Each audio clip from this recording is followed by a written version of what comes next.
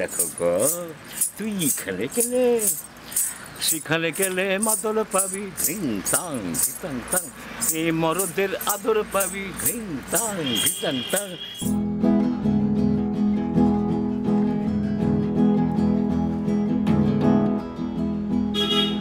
লাল পাহাড়ির দিশে যা রাঙা মাটির দিশে যা।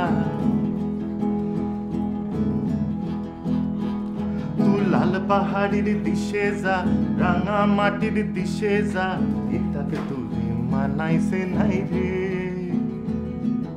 একেবারে মানাইছে নাই রে।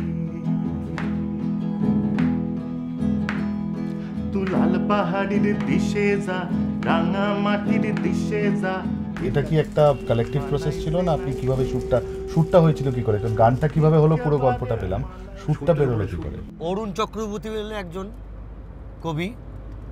ও একটা গান নিয়ে আসলো ওই লাল পাহাড়ির দেশে যা রাঙামাটির দেশে যা হেতাকে তোকে মানাইছে না গো।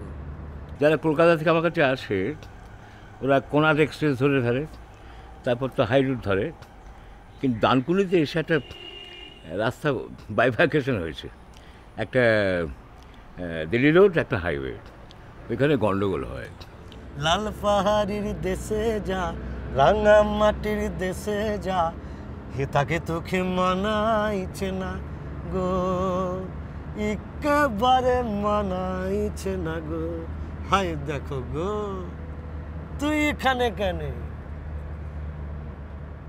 সেথায় গেলেম সেথায় গেলে মাদল পাবি, মিয়া মরদের আদর পাবি হিতাকে তোকে মানাইছে না গো। হিতাকে তোকে মানাইছে না গো। লাল পাহাড়ির দেশে যা, রাঙা মাটির দেশে যা, হিতাকে তোকে মানাইছে না গো। একেবারে মানাইছে না গো। আলাদা না? ও তোকে একেবারে মানাইছে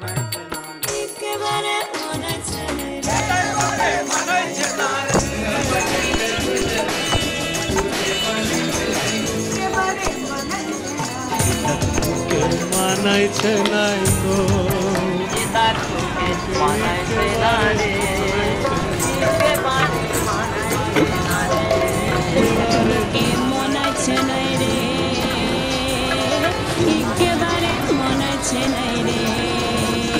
একটা ফোক সংকে কখন অরবান হয়ে যায় সেটাকে কীভাবে অরবানাইজ কনটেক্সটে ফোক সংটা আসে? একটা লোক সে লন্ডন শহরে এসছে।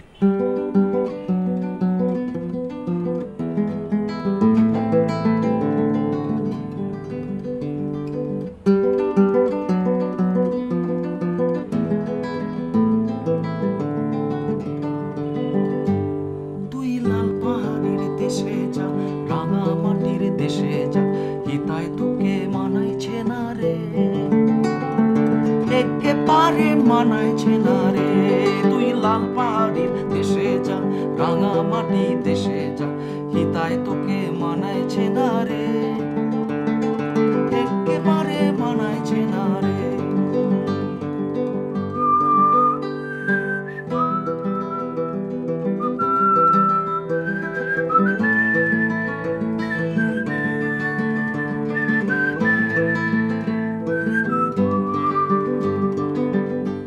এই গানের একটা বিরাট বড় ব্যাপার হচ্ছে, এই গানগুলো না পারপেচুয়াল হয়। এই গানগুলো কখনো হারিয়ে যায় না।